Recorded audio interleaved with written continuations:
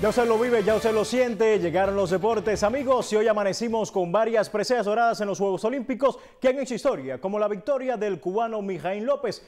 El caribeño se consolidó como el mejor luchador greco-romano de la historia moderna, eso al vencer al georgiano Lakovicaya en la categoría de los 130 kilogramos. Al conquistar la cima del olimpismo greco-romano con su cuarta medalla de oro consecutiva, Mijaín logró algo que muy pocos deportistas han podido alcanzar y es ser tetracampeones olímpicos. Y amigos, como en Telemundo 20 seguimos en modo olímpico, vamos a pasar directamente al resumen deportivo en el estilo y la locución de Carlos Rafael. Hola, ¿qué tal? Tiempo de deportes. Hay buenas noticias para los Estados Unidos y es que Simon Biles volverá a competir en los Juegos Olímpicos de Tokio cuando este martes participe en la final de Viga de Equilibrio.